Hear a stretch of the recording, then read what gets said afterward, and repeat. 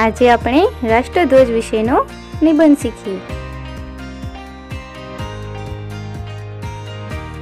ભારતના રાષ્ટ્રધ્વજમાં ત્રણ રંગોના પટ્ટા છે, કેસરી, સફેદ અને લીલો.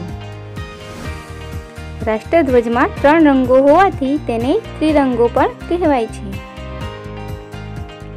સૌથી ઉપર કેસરી, વચ્ચે સફેદ અને સૌથી નીચે લીલા રંગનો પટ્ટો છે. કેસરી રંગ વીરતાનું, સફેદ રંગ શાંતિનું અને લીલો રંગ સમૃદ્ધિનું પ્રતીક છે. સફેદ રંગના વચ્ચેના પટ્ટામાં વાદળી રંગનું અશોક ચક્ર છે. અશોક ચક્રમાં ચોવીસ આરા હોય છે. આ ચક્ર પ્રગતિનું પ્રતીક છે. રાષ્ટ્રધ્વજમાં ત્રણેય પટ્ટા એક સરખી પહોળાઈના હોય છે.